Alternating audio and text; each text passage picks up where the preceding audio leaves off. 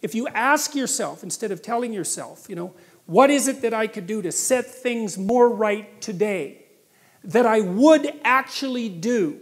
It's usually some small thing because you're not that disciplined, you know. Then you can go do it. And then you, you put the world together a little more when you do that. And that spreads out. But you also put your you also construct yourself into something that's better able to call order forth from chaos. And that makes you just incrementally stronger.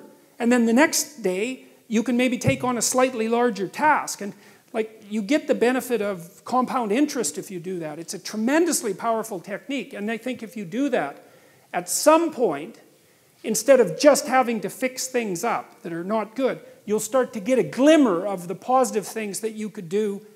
You know, the positive things that you could do that would actually constitute a vision. And that, that's what I would recommend.